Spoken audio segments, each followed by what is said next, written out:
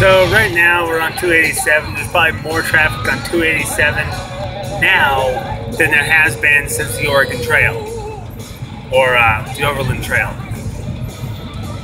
or the Mormon Trail.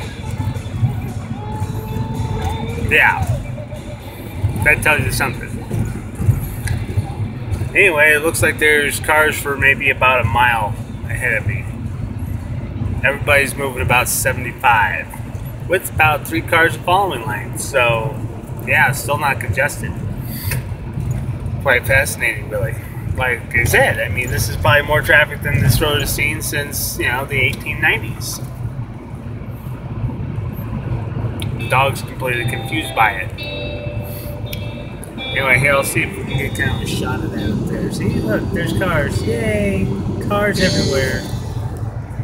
Anyway, we'll call that good for this segment.